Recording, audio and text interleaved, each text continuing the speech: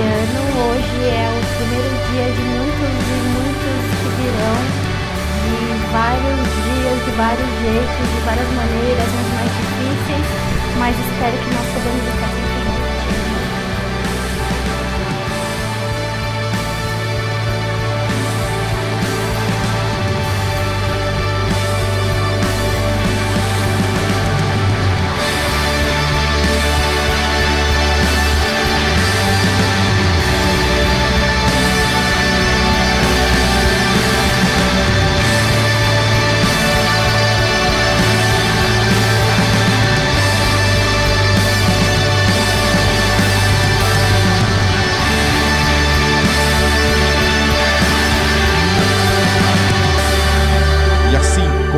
de areia aqui colocados não mais poderão ser separados por cor.